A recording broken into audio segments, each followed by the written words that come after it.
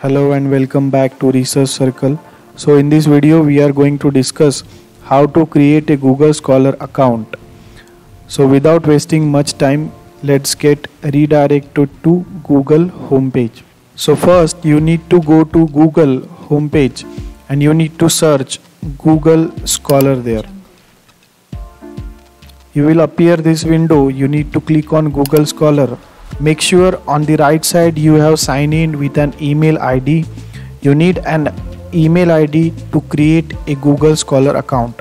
So on the right you need to sign in. As i have already signed in with the google uh, with the research circle uh, gmail account. So next step you need to go to my profile. So as soon as you click on my profile you will get this window.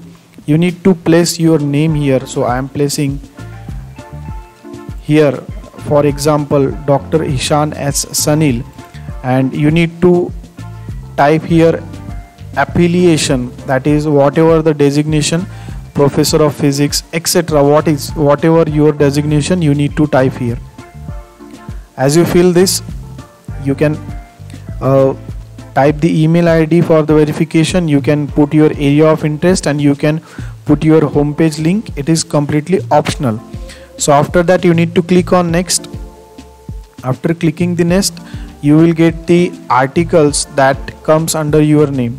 Now here you need to make sure one thing. All the articles might not be of yours. So you need to sort these articles manually. After that click on this and just click on this next arrow. This window will appear. This is the third and the last step here article updates you need to click on apply updates automatically. As you click on this option you will get all the articles that that is that will be published in the future will automatically come under google scholar. And profile visibility make my profile public it is completely optional.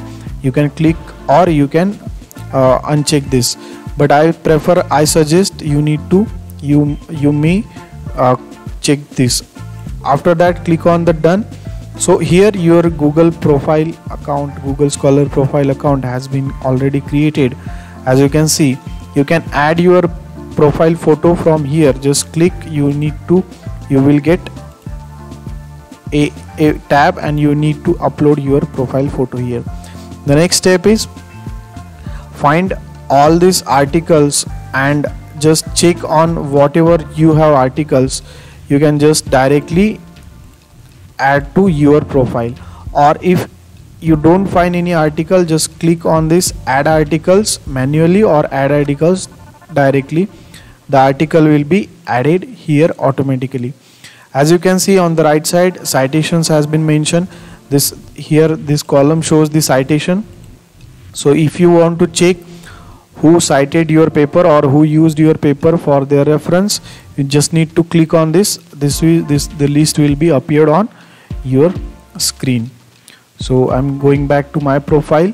Again you can follow from here. Also you can just check your h index and h10 index here. So this was the short video of creating how you can create your google scholar account. So for creating any google scholar account you just need a verified email address and you need to fill a minimal detail of your name and your designation or affiliation.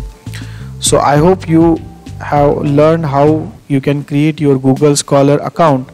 Thanks for watching this video. If you are new to research circle youtube channel subscribe to research circle youtube channel and if you like this video share this video to your fellow scholars and take care of yourself. Thank you so much